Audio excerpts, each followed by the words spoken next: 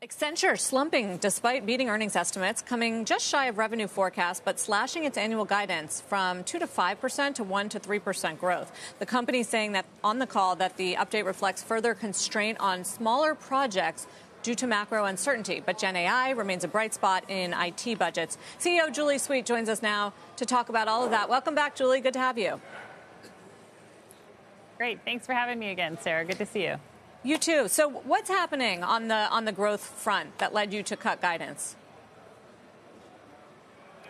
You know, it's pretty straightforward, right? You've got a lot of macro uncertainty. Budgets get finalized in January, and as the you know the page turned on the calendar year, we saw another tightening of the dial on overall spending, including on our services, and particularly on the smaller projects, which you know for us are the ones that turn to revenue uh, more quickly. So, you know, we always call it like we see it, and we updated our guidance. But as you sort of turn to how we're doing against this mac, uh, backdrop, we took market share. Uh, our clients are prioritizing the big, uh, complex deals, right? And so we're seeing an ongoing momentum in our strategy to help them reinvent with a record 39 clients with bookings over 100 million. And for the first half, we had $40 billion of sales, which is also a record. And of course, with Gen AI, our clients are focusing on the future and they're choosing us. They chose us to be reinvention partners. They're choosing us on Gen AI. And we're really excited that for the first half, we hit a billion dollars in generative AI sales. Your signings are, are strong, and it looks like are strong relative to expectations. So why, why isn't that co- contributing more to organic growth? So, what it, uh, the way our business works, right? The larger, more transformational deals convert to revenue uh, over a longer period than the shorter projects, and it's a it's a pretty basic formula in the industry.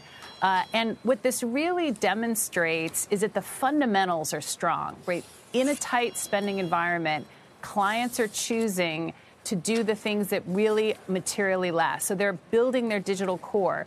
For example, Mondelez, which makes, you know, it's a leading snacking provider, makes one of my favorite snacks, Oreos.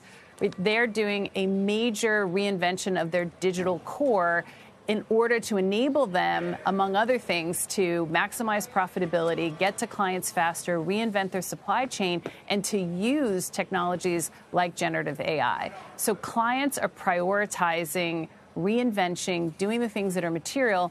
And uh, as I've talked about often on this program, there is much more reinvention ahead than behind. There's so much more to do to be able to use technologies like generative AI create the new data foundation, really build out the technology. And then, of course, our big opportunity is to help clients then reinvent every part of the enterprise using AI.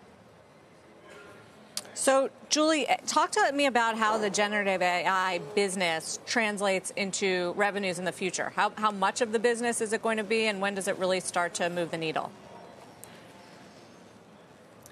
Well, in order for generative AI to be able to be used, you do have to move to the cloud, create the data foundation, uh, uh, update your platforms, your ERP platforms, have the right security foundation, and then have the talent and the process change and responsible AI. So we're talking about a lot of growth over a number of years. And in fact, uh, one of the things we just announced this last quarter is that to help clients with their talent rotation, We've uh, invested and launched our Learn Vantage services. We're buying a company called Udacity to help us scale that, to help drive that talent rotation. So we see a lot of growth ahead uh, in the next several years as we help our clients drive their AI rotation, do their talent rotation, and really change the way they work and uh, uh, serve their clients and their customers.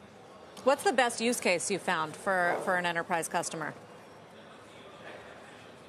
The early use cases are things like what we're doing with Best Buy, using it to reinvent the customer experience. So with Best Buy, we're using AI and generative AI in their contact centers to personalize the experience for both customers and employees. That's really an early, very impactful use case.